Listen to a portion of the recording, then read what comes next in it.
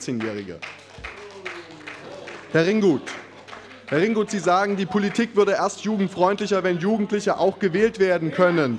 Also wenn das passive Wahlrecht auch gesenkt würde.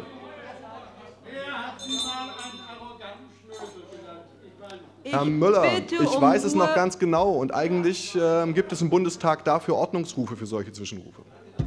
Also,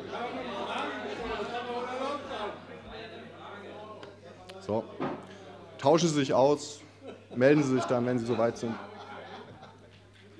Es macht immer wieder Spaß bei Ihnen. Also, Herr Ringgut, wenn Sie sagen, die Politik würde erst jugendfreundlich, wenn Jugendliche auch gewählt werden können, also wenn das passive Wahlrecht auch gesenkt werden würde, dann möchte ich Ihnen darauf antworten, nein, das glaube ich nicht. Sobald nämlich Jugendliche wählen können, werden sie von den Parteien mehr als Wähler wahrgenommen. Und daher werden ihre Themen auch verstärkt bedient, um diese Wählergruppe zu bewerben. Ich verspreche Ihnen, diesen Automatismus wird Ihre Partei am schnellsten begreifen.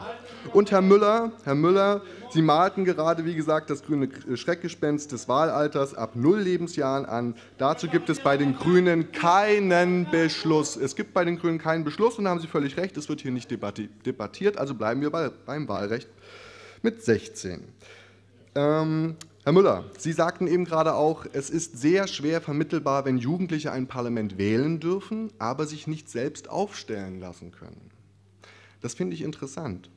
Herr Müller, wie schwierig wird es aber erst vermittelbar sein, wenn in Schleswig-Holstein mit 16 und in Mecklenburg-Vorpommern erst mit 18 gewählt werden darf? Ich halte das für sehr viel schwerer vermittelbar in der praktischen politischen Wirklichkeit. Und Sie sagen, ja, da machen Sie es aber ein bisschen einfach, Herr Müller. Und Sie sagen, Herr Müller, wir können natürlich mit Diskrepanzen leben, das sagen Sie und meinen die Diskrepanz zwischen Kommunal- und Landtagswahl. Ich sehe das auch so. Wir können tatsächlich mit Diskrepanzen leben, auch mit einem auseinanderfallenden aktiven und passiven Wahlrecht. Schließlich hat Deutschland Jahrzehnte damit gut leben können. Und Herr Caffier, ich finde es für einen Politiker eher beschämend, wenn er von vornherein die Änderung seiner Meinung kategorisch ausschließt. Ich halte das fast schon für, naja, schwierig und glaube daher, dass ich Sie einfach falsch verstanden habe. Ich glaube, ich habe Sie einfach falsch verstanden. Und richtig, Herr Ringgut, der Sozialkundeunterricht muss vorgezogen werden.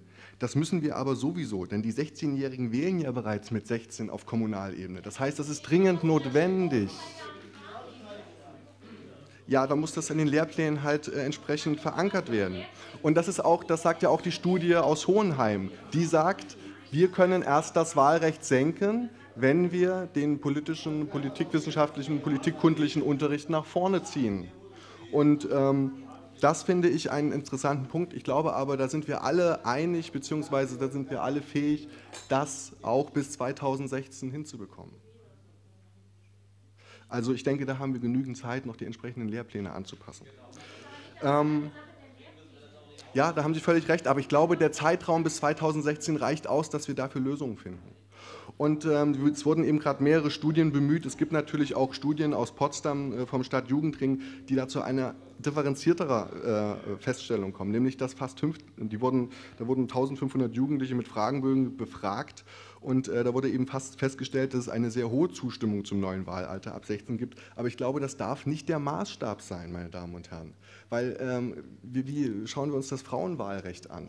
Auch da gab es große Anteile von Frauen, die selbst gesagt haben, sie wollen gar nicht wählen in den vergangenen Jahrhunderten. Und heute können wir uns das Frauenwahlrecht doch überhaupt nicht mehr wegdenken. Also ich glaube, nur weil Teile äh, der, der, der Zielgruppe das momentan nicht als Bedürfnis erkennen, heißt es nicht, dass es das falsche Bedürfnis ist.